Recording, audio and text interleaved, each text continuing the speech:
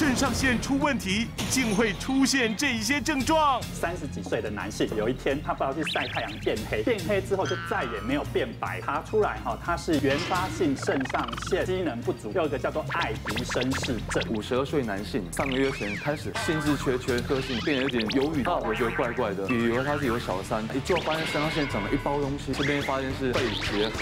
好，今晚十点，东升综合台三十二频道，医师好辣。